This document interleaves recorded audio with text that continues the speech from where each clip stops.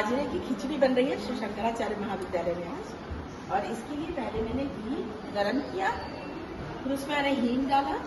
अब इसमें मैं जीरा डालने जा रही हूँ। घी अच्छा गर्म होने के बाद ही आप हींग डालें। उसके बाद थोड़ा सा जीरा डाल के आज को सिम कर दें, ताकि मसाला जले नहीं